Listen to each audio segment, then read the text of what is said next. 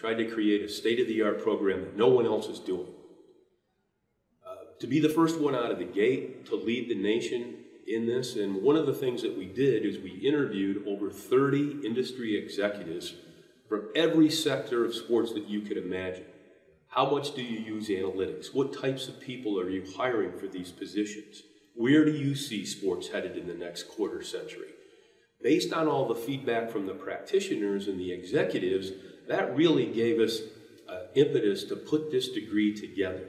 And we're thrilled that we're going to be the first one in the country to offer an undergraduate degree in sport analytics.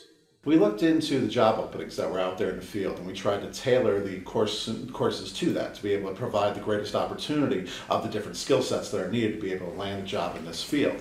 So we have different courses that occur in mathematics because there's a lot of mathematical background that would be prob and stat, calculus, linear algebra, etc., etc. We also have a bunch of computer related programs, whether that gets to be information technology or pure programming or uh, whatever uh, along those lines, uh, databases, SQL, etc., etc. to be able to give those skills and give a good background there.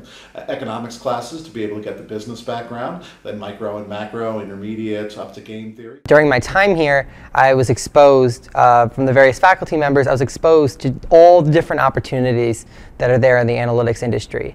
Um, I've had internships uh, dealing with marketing analytics, uh, ticket analytics, pricing, um, revenue, even on the player performance side. We are going out to recruit Ivy League caliber student. A student who might be looking at Harvard Business School, at the Wharton School at Pennsylvania. None of the Ivy League institutions have sport management or have a sport management program.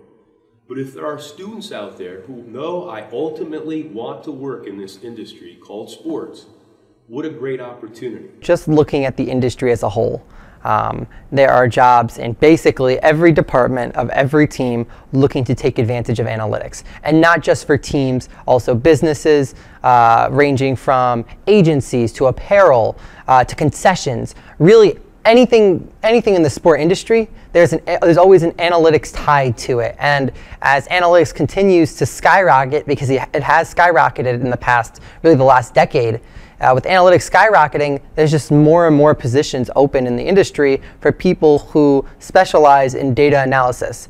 Data analysis as well as being able to interpret and explain and present data. As an undergraduate, you'll be able to major in sports analytics. Uh, there's other places that might be able to offer you some courses in a one year's master's or something like that, but this is the only program in the country where you can go ahead and be able to study sports analytics to be able to um, drive towards your dream, being able to use mathematics and use your statistical analysis to work in relation to the sports industry.